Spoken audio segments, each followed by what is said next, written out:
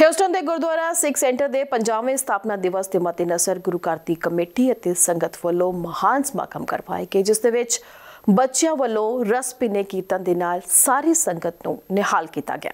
ਪੰਜਾਬ ਤੋਂ ਦੂਰ ਸੱਤ ਸਮੁੰਦਰ ਪਾਰ, ਵੱਖ-ਵੱਖ ਦੇਸ਼ਾਂ ਦੇ ਵਿੱਚ ਵਸਦੇ ਪੰਜਾਬੀਆਂ ਵੱਲੋਂ ਜਿੱਥੇ ਵੱਡੇ-ਵੱਡੇ ਕਾਰੋਬਾਰ ਸਥਾਪਿਤ ਕਰ ਲਏ ਗਏ ਨੇ, ਉੱਥੇ ਹੀ ਉਹਨਾਂ ਵੱਲੋਂ ਸੰਘਣੀ ਵਸੋਂ ਵਾਲੇ ਏਰੀਆ 'ਚ ਜ਼ਮੀਨਾਂ ਲੈ ਕੇ ਗੁਰੂ ਘਰਾਂ ਦੀ ਉਸਾਰੀ ਕਰਵਾਈ ਹੈ। ਤੇ ਉੱਥੇ ਸ੍ਰੀ ਗੁਰੂ ਗ੍ਰੰਥ ਸਾਹਿਬ ਜੀ ਨੂੰ ਸੁਸ਼ੋਭਿਤ ਕਰਦਿਆਂ ਗੁਰਬਾਣੀ ਦੇ ਨਿਰੰਤਰ ਪਾਠ ਚੱਲਦੇ ਰਹਿੰਦੇ ਨੇ, ਜਿਸ ਸਦਕਾ ਸਾਰੀ ਸੰਗਤ ਸਵੇਰੇ ਸ਼ਾਮ ਗੁਰੂ ਘਰ ਵਿਖੇ ਨਤਮਸਤਕ ਹੁੰਦੀ ਹੈ ਤੇ ਗੁਰਬਾਣੀ ਦੇ ਲੜ ਲੱਗਦੀ ਹੈ। ਇਸੇ ਤਰ੍ਹਾਂ ਜੇ ਗੱਲ ਕੀਤੀ ਜਾਵੇ ਗੁਰਦੁਆਰਾ ਸਿੱਖ ਸੈਂਟਰ ਹਿਊਸਟਨ ਦੀ। ਇਸ ਗੁਰੂ ਘਰ ਨੂੰ ਬਣਿਆ 50 ਸਾਲ ਹੋ ਗਏ ਨੇ। ਇਸ ਗੁਰੂ ਘਰ ਦੀ ਮੈਨੇਜਮੈਂਟ ਕਮੇਟੀ ਅਤੇ ਸੰਗਤ ਵੱਲੋਂ ਮਿਲ ਕੇ ਇਸ ਗੁਰੂ ਘਰ ਦਾ ਪੰਜਾਬਾ ਸਥਾਪਨਾ ਦਿਵਸ ਮਨਾਇਆ ਗਿਆ, ਜਿਸ ਦੇ ਵਿੱਚ ਹਿਊਸਟਨ ਦੇ ਸਾਰੇ ਗੁਰੂ ਘਰਾਂ ਦੇ ਕੀਰਤਨੀ ਜਥਿਆਂ ਵੱਲੋਂ ਕੀਰਤਨ ਦੇ ਨਾਲ ਆਪਣੀ ਹਾਜ਼ਰੀ ਲਵਾਈ। ਇਸ ਮੌਕੇ ਤੇ ਬਲੱਡ ਡੋਨੇਟ ਦਾ ਪ੍ਰਬੰਧ ਵੀ ਕੀਤਾ ਗਿਆ।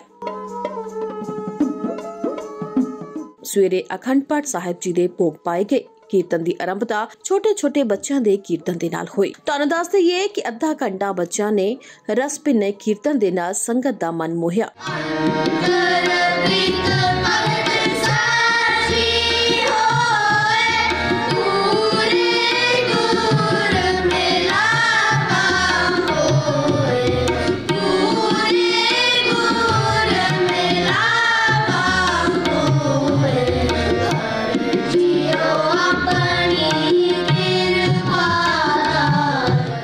ਇਸ ਮੌਕੇ ਤੇ ਹਜ਼ੂਰੀ ਜਥਾ ਭਾਈ ਜਸਵਿੰਦਰ ਸਿੰਘ ਤੇ ਸਾਥੀਆਂ ਨੇ ਕੀਰਤਨ ਦੇ ਨਾਲ ਸੰਗਤਾਂ ਨੂੰ ਨਿਹਾਲ ਕੀਤਾ। ਜਪ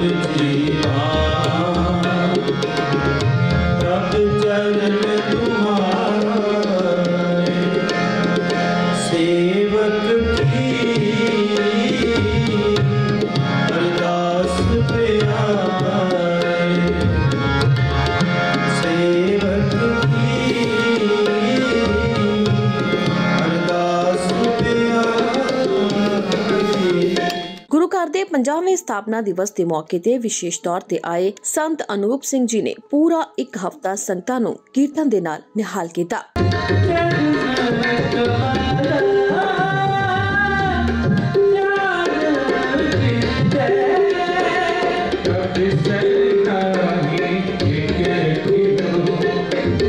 ਇਸ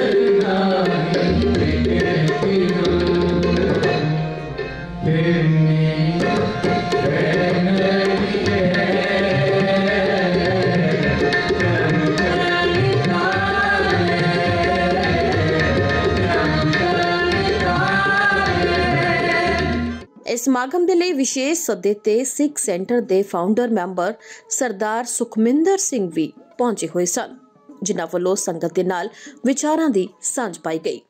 ਭਾਈ ਗੁਰਦਾਸ ਕਹਿੰਦੇ ਨਕਸ਼ਸ ਲੋ ਸਗਨ ਕਾਟ ਕਾਟ ਗੁਰਸਿੱਖ ਨਿਕੇ ਚਰਨ ਪਰ ਪਾਏ ਨੇ ਬਚਾਏ ਸੁਣ, ਲਹਿ ਅਨਕ, ਲਹਿ ਪਵਨ ਅਨਕ ਪ੍ਰਕਾਰ ਕੇ ਜਤ ਗੁਰਸਿੱਖ ਤਰੇ ਪਗ ਪਗ ਤਾਹਿ ਤਾਹਿ ਮਾਰ ਦੇ ਫਸਲ ਕੋ ਡਾਲੇ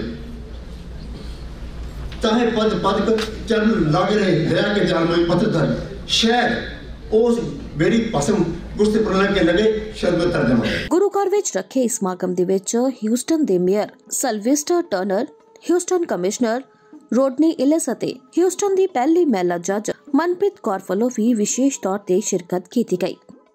And so, but the hopes and dreams of the Sikh congregation, making sure that they had what at that time was called the very first non Judeo Christian institution in all of Houston was born. And I, we literally have, because again, I was privileged enough to have my parents document this, we have videotape um, footage of them building this building by hand, the one that we're sitting in here today.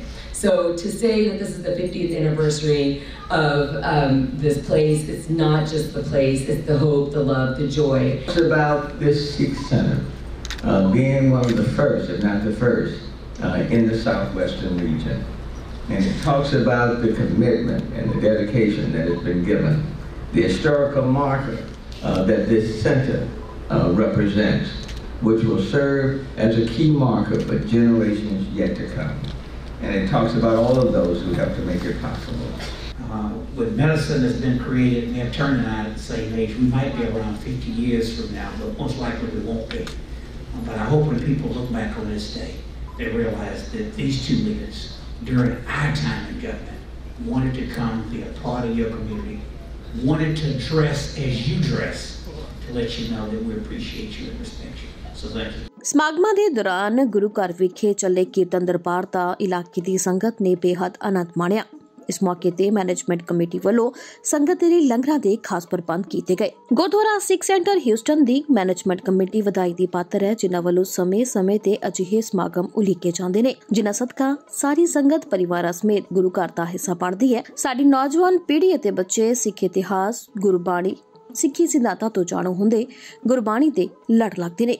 Houston ਤੋਂ ਜਸਵੰਤ ਸਿੰਘ ਜੱਸੀ ਦੀ report global Punjab TV ਹੁਣ ਤੁਸੀਂ ਦੇਖ ਸਕਦੇ ਹੋ global Punjab TV ਨੂੰ download ਕਰੋ ਸਾਡੀ ਐਪ ਐਂਡਰੋਇਡ ਜਾਂ iOS ਤੇ ਫ੍ਰੀ ਵਿੱਚ roku ਅਤੇ Amazon Fire TV ਤੇ ਜਾਂ Apple TV ਤੇ ਨਾਲ ਹੀ ਦੇਖ ਸਕਦੇ ਹੋ ਲਾਈਵ ਸਟ੍ਰੀਮਿੰਗ www.globalpunjabtv.com ਤੇ